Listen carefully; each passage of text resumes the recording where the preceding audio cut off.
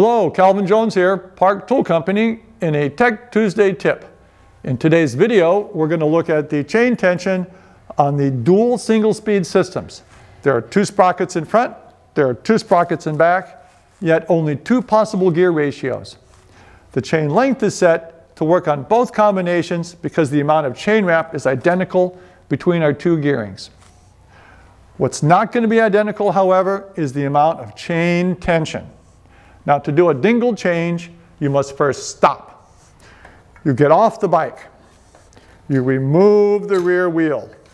You drop the rear wheel. That lets us switch manually on the front sprocket. We are then able to manually switch to our second rear cog. The wheel is reinstalled. The axle goes back in. And we're ready to continue on our way. But notice here, our chain tension is significantly different. To know why this occurs, we need to talk to with our old school friend, Pythagoras.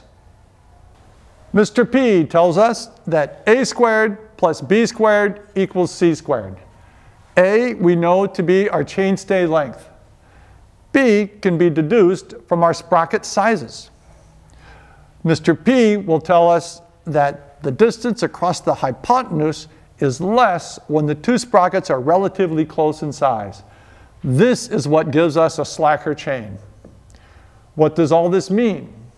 When setting your dingle tension, begin where the sprockets have a greater size differential, set the tension here, so when you're in your second combination, it is not too loose and sloppy.